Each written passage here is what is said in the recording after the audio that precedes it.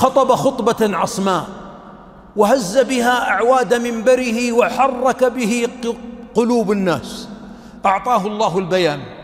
فلما نزل اصطف الناس يسلمون عليه. وجزاك الله خير يا شيخ. وبيض الله وجهك يا شيخ. وما أجمل الحديث يا شيخ. أثرت فينا يا شيخ. حتى جاء الشايب. قال عطني وأنا أبوك إذنك. إن كان هذا كله لله فهنيئا لك. ولا لا يغرونك اللي يمدحونك؟ اختصار.